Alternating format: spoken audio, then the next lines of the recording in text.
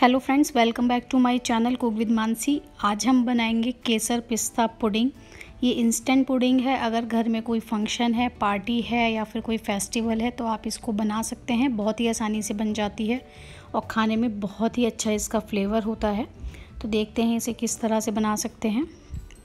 यहाँ पैन में मैंने मिल्क लिया है फुल क्रीम मिल्क है और ये आधे लीटर से थोड़ा कम मिल्क है। मैं बहुत ही कम क्वांटिटी प्रिपेयर कर रही हूँ तो इसलिए मैंने उसी हिसाब से सभी चीज़ें ली हैं।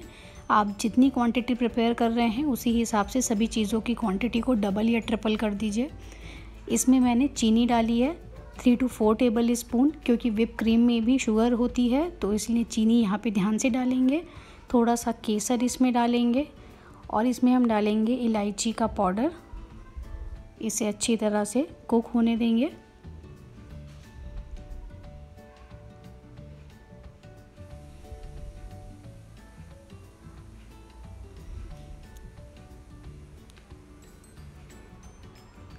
कलर इसमें हम थोड़ा सा ऐड करेंगे तो पिंच ऑफ़ येलो कलर मैंने इसमें डाला है। ये ऑप्शनल है क्योंकि केसर से भी हल्का येलो कलर आ ही जाएगा। अगर आपके पास कलर नहीं है तो आप इसको स्किप कर सकते हैं। इसको डालना ज़रूरी नहीं है। और अब हम इसे लो टू मीडियम फ्लेम पे चार से पाँच मिनट के लिए कुक करेंगे। इसे हल्का सा गाढ़ा करना है हमें।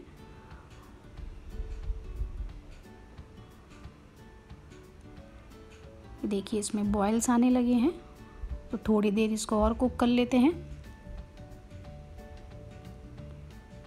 चार पाँच मिनट हो गए हैं, ये अच्छी तरह से कुक हो गया है थोड़ा सा गाढ़ा हो गया है। तो हम फ्लेम को ऑफ़ कर देंगे और इसे पूरी तरह से ठंडा हो जाने देंगे। यहाँ मैंने ये विपिंग क्रीम ली है। इसकी रेसिपी मैं आपके साथ ऑलरेडी शेयर कर चुकी हूँ। ये बिना विपिंग क्रीम के मैंने दूध से क्रीम बनाना बताया है। ये वही क्रीम मैं यहाँ पे यूज़ कर रही हूँ। इसमें हम डालेंगे दो से तीन चम्मच जो हमारा केसर वाला मिल्क है वो।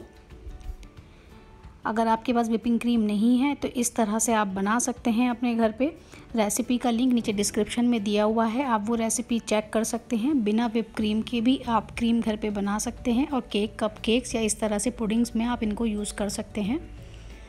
यहाँ मैंने ब्रेड स्लाइसेस लिए हैं तो जिस भी डिश में आपको इसे सर्व करना हो, ब्रेड पीसीज उसमें आप रख के एक बार एडजस्ट करके देख लीजिए।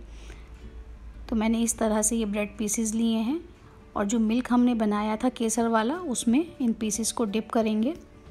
जैसा कि मैंने आपको बताया कि मैं बहुत कम क्वांटिटी बना रही हूँ तो इसलिए मैं सिर्फ़ एक लेयर लगा रही हूँ।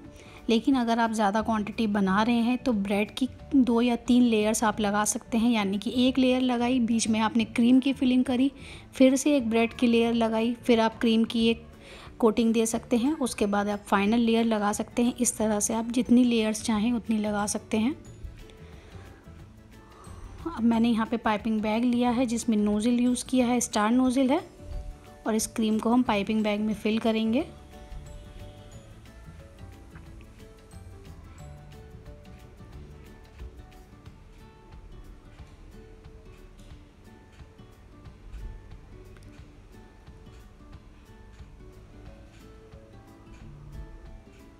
इसके ऊपर हम क्रीम की एक लेयर लगा देते हैं।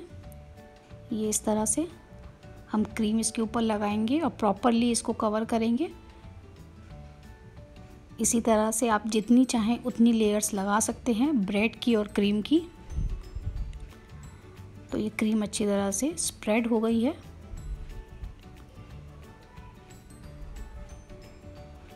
अब हम इसके ऊपर डिज़ाइनिंग देंगे। तो आइसिंग बैग यूज़ करेंगे और इस तरह से हम डिज़ाइनिंग दे रहे हैं। आप चाहें तो फ्लावर्स वाली डिज़ाइनिंग दे सकते हैं या फिर कोई और डिज़ाइन आप देना चाहें तो वो दे सकते हैं। नहीं तो इस तरह से भी सिंपल डिज़ाइनिंग बहुत अच्छी लगती है। और अगर आप कोई भी डिज़ाइनिंग नहीं देना चाहते हैं, यानी कि अगर आपके पास पाइपिंग बैग नहीं है नोज़ल्स नहीं है तो आप क्रीम को एकदम स्मूथ फैला लीजिए इसके ऊपर और उसके ऊपर आप गार्निशिंग कर सकते हैं। इस तरह से डिज़ाइन बनाना भी ज़रूरी नहीं है।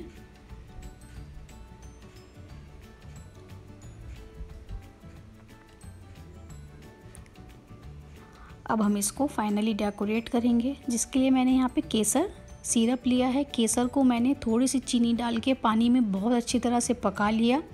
उसके बाद इसको पूरी तरह से ठंडा कर लिया। उस केसर के फ्लेवर को हम इसके ऊपर डालेंगे, क्योंकि हम केसर पिस्ता पुडिंग बना रहे हैं तो केसर का फ्लेवर हम थोड़ा स्ट्रॉन्ग रख रहे हैं। इसलिए पानी में इसे अलग से, बिल्कुल थोड़े से पानी में, आधी कटोरी पानी में आप केसर को पका लीजिए, एक चम्मच चीनी डाल दीजिए उसमें, और जब ये बिल्कुल ठंडा हो जाए तो वो सिरप मैं इसके ऊपर डाल रही हूँ।